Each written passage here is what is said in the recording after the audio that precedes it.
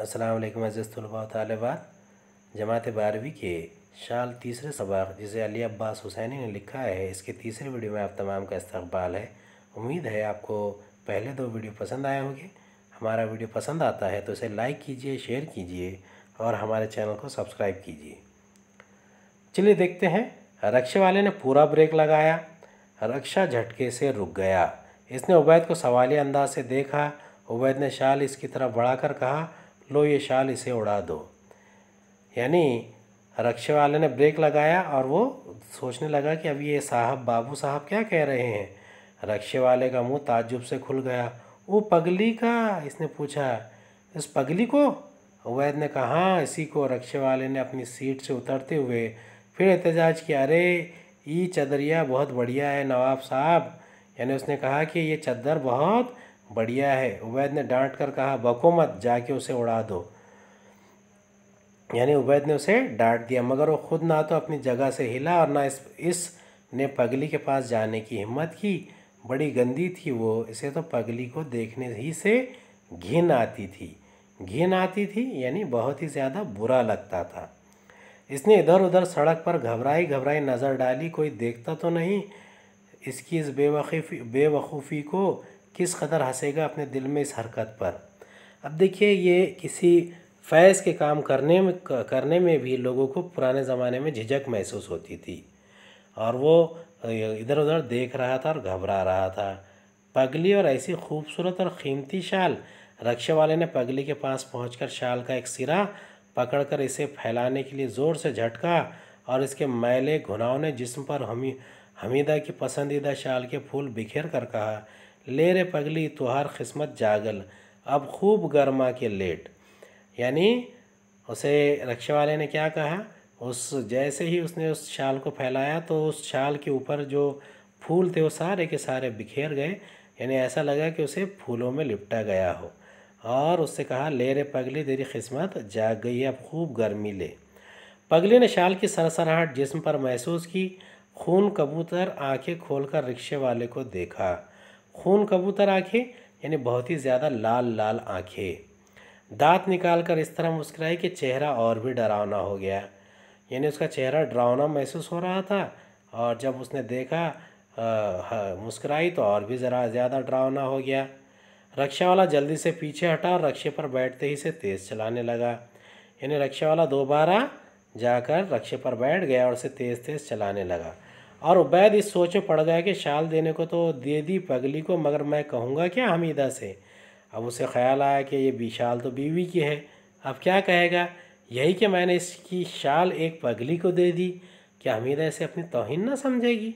अगर और अगर कहीं इससे, इस सिलसिले में इसके चश्म में गूँ में आँसू आ गए या कहीं उतर गया इसका हंसमुख चेहरा तो उबैद ने तय किया कि मुझे बात बनानी ही पड़ेगी। मुझे झूठ बोलना ही पड़ेगा। मगर ऐसा झूठ के बजाय आँखों से आँसू के इसके मुँह से कलमा शुक्र निकले। यानी देखिए यहाँ पर ये जो जुमले हैं, पहला है, मगर मैं कहूँगा क्या हमीदा से? ये कौन सा है? ये भी इस्तेफाहमिया या सवालिया जुमला है। कि मैंने इसकी शाल एक पगली को दे दी? क्या हमीदा इसे अपनी तोहिन न समझेगी? अब ये क्या है? सवालिया जुमले हैं। अब उसने तय किया कि उसे बात बनानी पड़ेगी और झूठ बोलना पड़ेगा, लेकिन झूठ भी ऐसा। अब देखिए, इसका सवाल आ सकता है, झूठ बजाय आँखों से आँसू के मुँह से कलमा शुक्र निकले। इसकी आपको सराहत के लिए आ सकता है।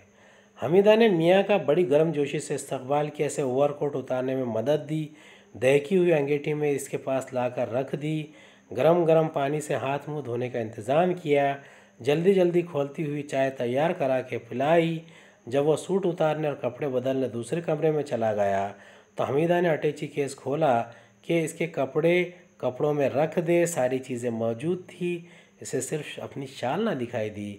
इसने होलडाल भी खोल डाला, वहाँ भी शाल गायब थी। अब देखिए, ये बहुत ही ज़्यादा फर्मा बरदार बीवी हमीदा, उसने बड़ी गम गर्म जोशी से इस्तकबाल किया।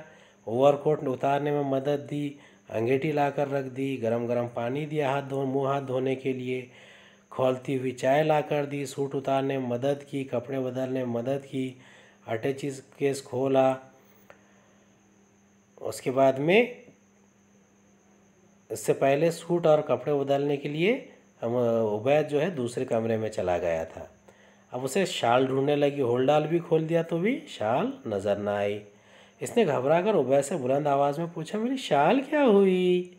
उबैद ने झूठी कहानी घड़ ली थी, वो बीवी के करीब आकर बैठ गया और बोला, वो तो रेल में चोरी हो गई। अब देखिए यहाँ झूठ बोल दिया। हमीदा का चेहरा तम तमा उठा, वो बोले, अरे ये कैसे? उबैद ने कहा, रात रेल में दो कंबलों से सर्दी ना गई तो मैंने ऊपर से तुम्हारी शाल भी डाल ली। मालूम होता है वो करवट लेने में फिसल कर बर्थ के नीचे गिर पड़ी। मैं सो रहा था कि दो मुसाफिर उतर गए, इन्हीं में से कोई इसे बगल में दबा कर ले गया। यानी देखिए, एक बहुत ही साफ़ झूठ है तो उबैद ने यहाँ पर अपनी बीवी से कहा, हमीदा रूहान सी आवाज़ में कोसने लगी, मुँह का हाथ सड़ जाए, मेरी शाल ओढ़ना इसे कभी नसीब ना हो, इसकी खबर में कीड़े पड़े, कहते हुए इसकी आँखों में आँसू आ गए। देखिए, कितनी पसंदीदा शाल थी। और ये ख़वातीन के अंदाज में वो फिर से अपनी उंगलियाँ तोड़ने लगी, यानी कि मुँह का हाथ सड़ जाए उसे शाल ओढ़ना नसीब ना हो। मामा ईदन उबैद के नाश्ते के लिए हिदायत लेने आई हुई पास ही खड़ी थी। वो बोली, ए, है बीबी, इतनी सी बात पर रोती हैं। खुदा का शुक्र कीजिए कि अल्लाह, आमीन मियाँ, सलामत पलट आए। सदका उतारिए, शुक्र का सजदा कीजिए। यानी एक मुलाजिमा थी जिसका नाम ईदुन था और उसने आकर बोली है बीबी, इतनी सी बात पर रोती है। खुदा का शुक्र कीजिए। यानी अल्लाह, खुदा का शुक्र करना कि तुम्हारे मियाँ सलामत वापस आ गए। हमीदा का मूड यक बिल्कुल बदल गया। इसने झट आँखें पहुँच डाली और सौ रुपया ईदुन की तरफ़ बढ़ाकर बोली, सच कहती हो बुआ, मैं बड़ी नाशुक्री हूँ।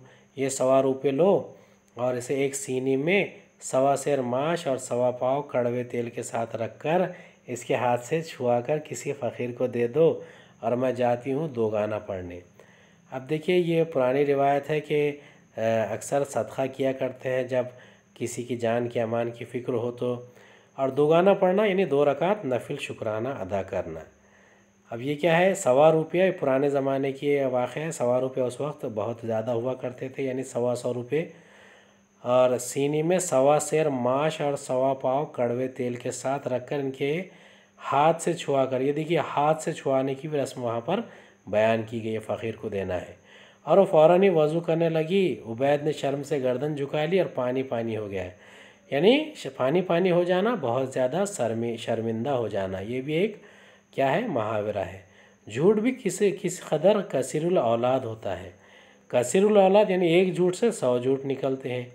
एक बोलो, झट इसके पेट से दस पैदा हो जाए, यानी एक झूठ से दस झूठ निकलते हैं। फिर भी इसका झूठ कितना शीरी, कितना मीठा निकला हमीदा की आँखें भीगी तो शुक्र खुदा में।